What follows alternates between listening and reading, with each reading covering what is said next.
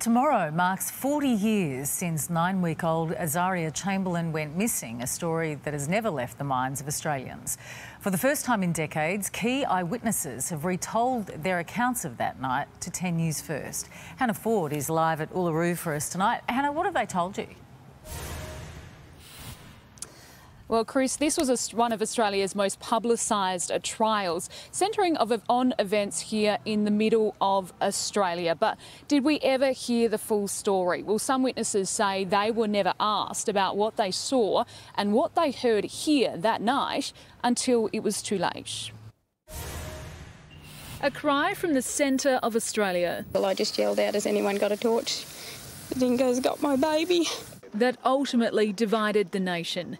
A nine week old girl was gone. We just rushed out there in faith, but we didn't really think we'd find anything. And her parents were quickly accused of her murder. For the Haby family, 40 years ago feels like yesterday. And she said, um, I need a torch. A, a, dingo's taken my baby. And of course, I was, and, you know, not every day you get confronted with that. And I thought, is this real?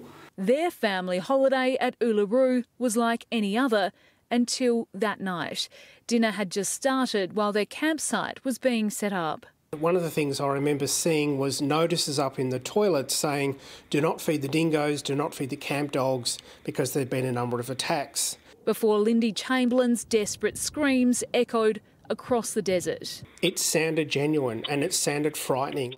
Stephen was only 11, but he remembers the terror in Lindy's voice and then the silence. It went all quiet, and then Dad went out to investigate and then came back and said, Oh, something terrible's happened.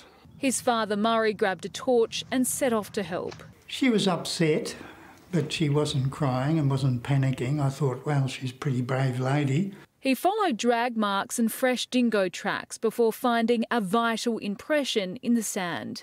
And you could see a pattern of a knitted garment quite clearly in the torchlight and then oh, there was a, a wet spot beside it, so I couldn't work out whether it was blood or saliva. That pattern was most likely from Azaria's matinee jacket, the cardigan her mother Lindy insisted her baby was wearing over her jumpsuit. It was only found three years into Lindy Chamberlain's life sentence for her baby's murder. The tiny missing piece quickly led to her release from prison and ultimately helped prove her innocence. Murray Haby believes that if his evidence here that night was heard earlier, she may not have gone to jail at all. In fact, he wasn't called to give evidence at either of the first two inquests, only the trial and for the prosecution.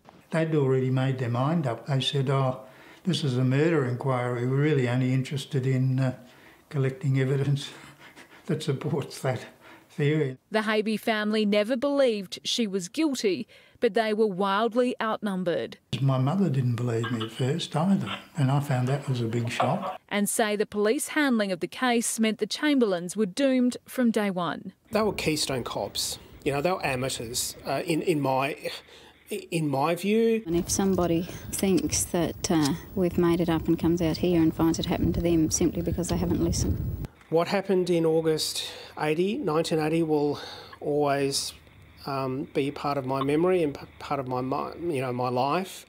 Um, and if anything, hopefully we can learn from that. You know, I really take my hat off to her because most other people would have gone to pieces. You know, really. Perhaps that strength and apparent coldness that condemned her back then is the very thing that's helped Lindy Chamberlain survive 40 painful years.